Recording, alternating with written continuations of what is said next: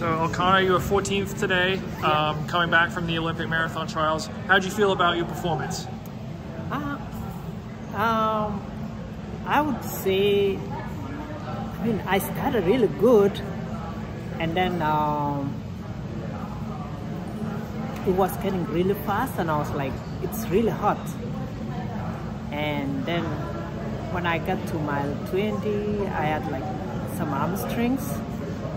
So I was trying to go, but I'm feeling strong, but I cannot go because every time I try to make to go, it, it's, I get cramps, like it pulls. Mm-hmm. So I just like said I need to finish, and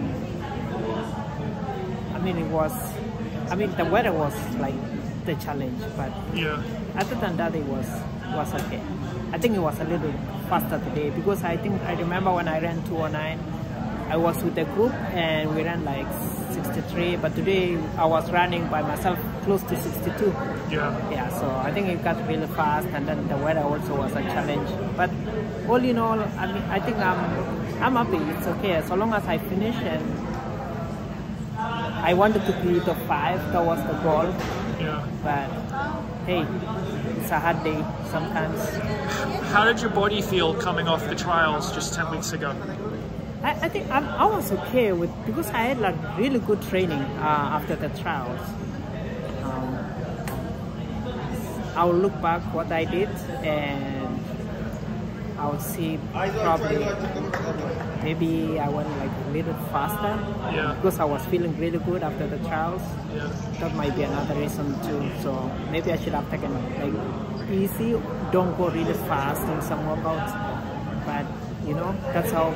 Whether you know, maybe recovery also. Maybe I did not recover enough. But it was a short time, so but it's okay. I mean, to finish and run 212 in Boston, that's like a good time. Yeah. Yeah. So I'm just overall I'm happy about.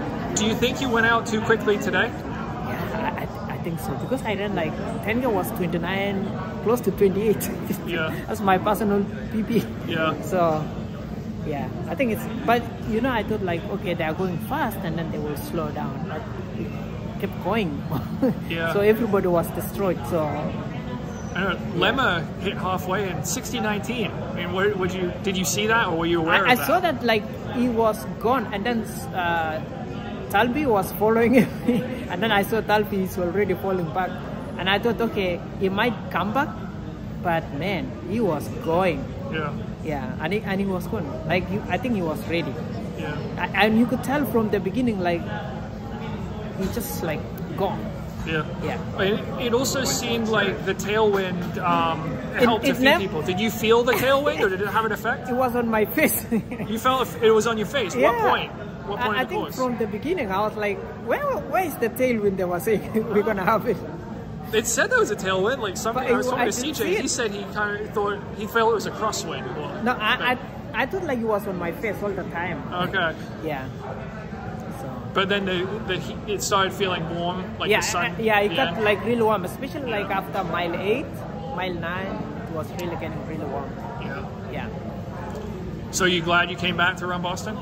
I, I think I'm glad. Like you know, last year I missed Boston, so yeah. Mean, it's a very tough course and it's challenging. So Yeah. to finish, I mean, I didn't like feel like it was really tough on the hills, like always.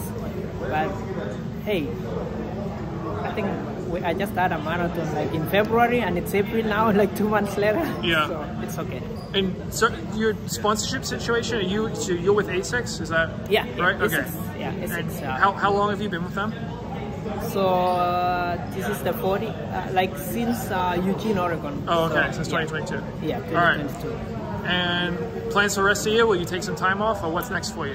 Yeah, I, I think I'm gonna take a time off and start getting ready for next year. I don't know if I'm gonna do a fall marathon.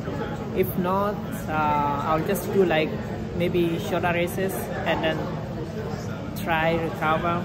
So and then be prepared because the goal is to be ready for the 2028 Olympics. That's my goal. Yeah. So I need to start like probably maybe look for a faster race next year and try and see how fast I can go. And are you, are you still in the army? Is there any chance you might be I- I'm- deployed then? Yeah, I, I think I'm gonna stay in the army for 20 years, so Okay. I think that's what I'm gonna do. So Yeah. I'll just have to plan myself and make sure, like, if I take a job, I stay in the states for the next three, four years. So Yeah. I just it's like two years. Every time you take an assignment, it's two years. So I'll try to make sure like I get an assignment to stay in the US so that I can really have a, especially like 2027, I need to have a good year, like not being deployed like last time. Yeah. So, and this is really good because if I go to Captain Career Course in July and then I finish in December and then my assignment will start January. So January 2025 to 26 and then to 27. Okay. And then I, if I am switching and then I find something again from January to January, and that will give me stability to make sure that um, I'm in states so I can be able to really prepare for the 2028. Okay. Well, thank you for the time, Elkanah. Thank nice you. job. Thank